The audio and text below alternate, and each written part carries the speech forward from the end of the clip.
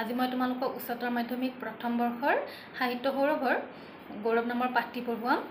গৌৰৱ পাঠটিৰ লেখক কালিৰাম মেধিদেৱ। কালিৰাম মেধিদেৱে এই পাঠটিৰ জৰিয়তে মানুহে কোনবোৰ কথাত গৌৰৱ কৰে আৰু সেই গৌৰৱৰ প্ৰয়োগ কিদৰে কৰে সেই কথাখিনি ইয়াতে উল্লেখ কৰিছে।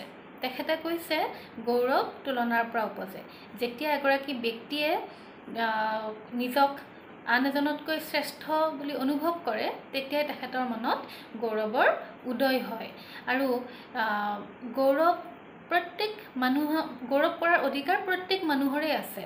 ৰাণীৰ পৰা বান্দিলৈকে যে মানুহে গৌৰৱ কৰিব পাৰে তেখেতে এই পাঠটিত উল্লেখ কৰিছে। অৰ্থাৎ উচ্চ নিজ ভেদাভেদ অবিহনে ইয়াত কি থাকে গৌৰৱ কৰাৰ অধিকাৰ থাকে।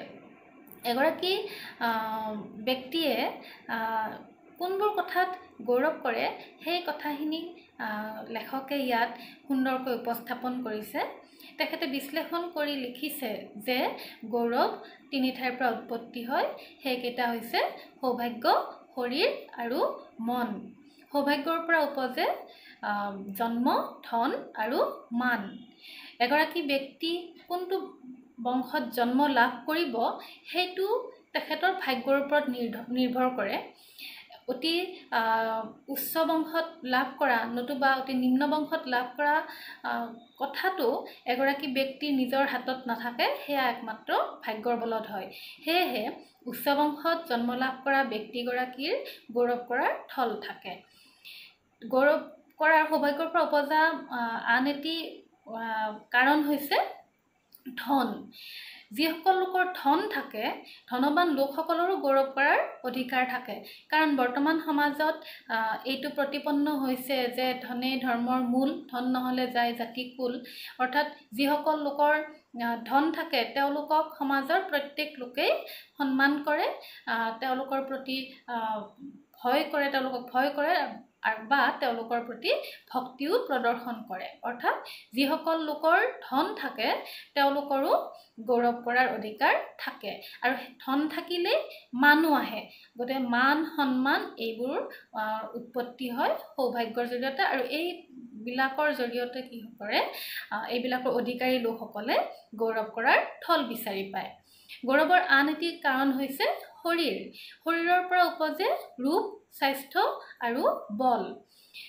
এগৰাকী ব্যক্তি দেখাত কেনেকুৱা হ'ব সেইটো তেখেতৰ নিজৰ হাতত নাথাকিলেও নিজেও কিন্তু কেতিয়াবা কেতিয়াবা নিজক ৰূপৱান কৰি তুলিব পাৰে। এতিয়া আমি জগতৰ বুৰঞ্জীলৈ যদি চাওঁ ৰূপৱান মানুহৰ প্ৰতি প্ৰত্যেক মানুহৰে একোটা দুৰ্বলতা থাকে আৰু ৰূপৰ বাবেই জগতত বহুত ঘটনাও সংঘটিত হৈছে যুদ্ধৰো সংঘটিত হৈছে। এতিয়া এই যে ৰূপ ৰূপৰ বাবে যে ৰূপৰ বাবে যে মানুহে ইমান এক কথাত ক'ব গ'লে উদ্বাউল সেই কথাটোৰ পৰাও ৰূপৱান সেই কথাৰ বাবে ৰূপৱান লোকসকলে গৌৰৱ কৰাৰ থল বিচাৰি পায়। এগৰাকী ব্যক্তি যদি ৰূপৱান হয় তেওঁ নিজক আনতকৈ শ্ৰেষ্ঠ বুলি অনুভৱ কৰাৰ লগে লগে তেওঁৰ মনত ৰূপৰ চৰি তেওঁলোক তেওঁৰ মনত গৌৰৱৰ উদ্ভৱ হয়। সেয়েহে ৰূপৱান লোকসকলেও কি কৰিব পাৰে গৌৰৱ কৰিব পাৰে। অৰ্থাৎ ৰূপৰ পৰাও গৌৰৱৰ উৎপত্তি হয়। গৌৰৱ কৰাৰ আন এটি কাৰণ হৈছে স্বাস্থ্য। এগৰাকী ব্যক্তি ক্লিওপেট্ৰাৰ দৰে এগৰাকী নাৰী ক্লিওপেট্ৰাৰ দৰে সুন্দৰী হ'লেও তেওঁৰ যদি স্বাস্থ্য ভাল নহয় তেওঁৰ যদি গাত ৰোগ থাকে তেওঁৰ শৰীৰত যদি ৰোগ থাকে তেনেহ'লে ৰোগীয়া মানুহে কেতিয়াও গৌৰৱ কৰিব নোৱাৰে।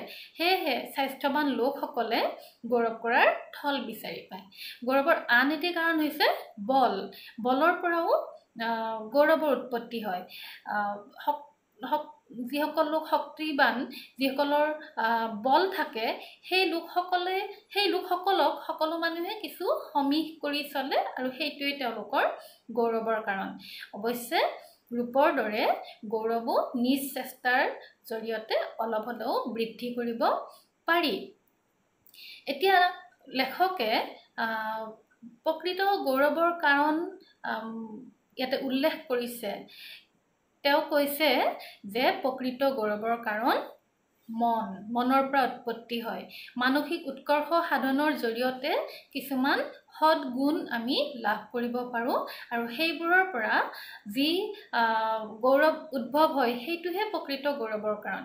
বিশদভাৱে ক'বলৈ গ'লে মনৰ পৰা উৎপত্তি হোৱা কাৰণ গৌৰৱৰ কাৰণকেইটা হৈছে জ্ঞান আত্মসংযম আৰু আত্মদান। ইয়াতে লেখকে লিখিছে যে যিসকল লোক জ্ঞানী সেইসকল লোকে সেইসকল লোকেহে প্ৰকৃততে গৌৰৱ কৰিব পৰাৰ থল থাকে। বা যিসকল লোক আত্মসংযমী সেইসকল লোকেহে গৌৰৱ কৰাৰ থল থাকে বা গৌৰৱ কৰা উচিত। আৰু যিসকল লোক আত্মদানী যিসকলে নিজক কাৰোবাৰ বাবে নিজৰ স্বাৰ্থ ত্যাগ কৰি আনৰ বাবে নিজৰ দান কৰিব পাৰে সেইসকল লোকেহে গৌৰৱ কৰা উচিত। এই কথাখিনিক আমি কিছু বহলাই যদি কওঁ তেনেহ'লে আমি ক'ব পাৰিম যে আমি চক্ৰেটিছৰ নাম শুনিছোঁ। চক্ৰেটিছ তেওঁ দেখাত বৰ ভাল নাছিল কুৎচিত আছিল বুলিয়েই ক'ব পাৰি কিন্তু তেখেত যিমান জ্ঞানী আছিল তাৰ বাবেই তেখেতৰ নাম যুগ যুগান্তৰ মানুহৰ মনত ৰৈ গৈছে। ঠিক সেইদৰে আমি যদি প্ৰহ্লাদৰ আত্মসংযমৰ কথা কওঁ তেনেহ'লেও তেওঁ সেই কথাও আমি সেইটো আখ্যান এটা পৌৰাণিক আখ্যান। পৌৰাণিক আখ্যান হ'লেও সেইটো আজিও আমি তাক উদাহৰণ হিচাপে প্ৰয়োগ কৰোঁ আমাৰ জীৱনত। ঠিক সেইদৰে আমাৰ বুৰঞ্জীত পোৱাটি কাহিনী সত্য কাহিনী জয়মতী কুঁৱৰীৰ। জয়মতীয়ে দেশৰ বাবে যে নিজক আত্মবলিদান দিছিল সেইটোও কিন্তু যুগ যুগান্তৰ সেইবিলাকেও কি কৰিছে যুগ যুগান্তৰ খ্যাতি ৰাখিছে। এতিয়া এই তিনিটা কাৰণ যদি গৌৰৱ কৰাৰ কাৰণ যদি আমি বিশ্লেষণ কৰি চাওঁ সৌভাগ্য শৰীৰ আৰু মন তেনেহ'লে আমি এটা কথা পাওঁ যে প্ৰকৃত গৌৰৱৰ কাৰণ মন। কিয়নো সৌভাগ্য আৰু শৰীৰৰ পৰা যিবোৰ গৌৰৱৰ উৎপত্তি হয় সেইবোৰ ক্ষণস্থায়ী সেইবোৰ সময়ত বা কালত সেইটো কি হয় লোপ পায়। কিয়নো মানুহ এগৰাকী তেখেতৰ ৰূপ বা বল বা ধন বা মান এইবোৰ যুগমীয়া নহয়। সেইবোৰ সময়ৰ সোঁতত লয় পায়। কিন্তু মানুহৰ জ্ঞান আত্মসংযম বা আত্মদান এইবোৰ মানসিক কাৰ্যবোৰ বা কাৰণবোৰৰ জৰিয়তেহে মানুহে কি কৰিব পাৰে প্ৰকৃত গৌৰৱ কৰিব পাৰে। ক্ষণস্থায়ী বস্তুক লৈ পেলাই আমি গৌৰৱ কৰা উচিত নহয়। সেই কথাখিনিকে লেখকে আমাক ইয়াতে ক'ব বিচাৰিছে। কেতিয়াবা দেখিবা যে মানুহে কেতিয়াবা কেতিয়াবা কি কৰে নাম নোহোৱা কাৰণতো গৌৰৱ কৰে জ্ঞানী লোকসকলৰ ক্ষেত্ৰত। ইয়াতে এটা উদাহৰণ দিছে লেখকে হোমাৰ। হোমাৰ এগৰাকী কবি আছিল। তেখেতে মহাকাব্য ৰচনা কৰিছিল কিন্তু তেখেতৰ কাব্যসমূহত যি তেওঁৰ জ্ঞান প্ৰকাশ পাইছিল কিন্তু তেখেতৰ জন্মস্থান অনিশ্চিত আছিল। অনিশ্চিত হোৱা হেতুকে তেখেতক লৈ বিভিন্ন দেশৰ মানুহবিলাকে নিজৰ নিজৰ ঠাইত তেখেতৰ জন্মস্থান বুলি কৈ গৌৰৱ কৰিব বিচাৰিছে। ঠিক সেইদৰে আমাৰ অনন্ত কণ্ডলীৰ নামো ক'ব পাৰোঁ। অনন্ত কণ্ডলীৰ নাম তেওঁৰ জন্মস্থানো ইয়াতে উল্লেখ নাই। সেয়েহে তেখেতকো আমি কি কৰোঁ নিজৰ নিজৰ ঠাইত ল'বলৈ আগ্ৰহ প্ৰকাশ কৰোঁ। অৰ্থাৎ জ্ঞানী লোকসকলক আমি আমাৰ নিজৰ ঠাই বুলি কৈ গৌৰৱ অনুভৱ কৰিব পাৰোঁ। এতিয়া এই পাঠটিত তেখেতে কালিৰাম মেধিদেৱে কৈছে যে গৌৰৱৰ আমি মানুহবোৰে বিভিন্ন কাৰণত গৌৰৱ কৰিব পাৰোঁ কিন্তু সেই ধৰণৰ গৌৰৱহে কৰা উচিত যিবোৰ মানুহৰ জীৱনত স্থায়ী হৈ থাকে। আৰু এই পাঠটিৰ এইখিনিয়ে হৈছে মূল বিষয়বস্তু। ছাত্ৰ ছাত্ৰীসকল এই পাঠটিত লেখকে বিভিন্ন উদাহৰণৰ জৰিয়তে বিশদভাৱে বিষয়বস্তু উপস্থাপন কৰিছে।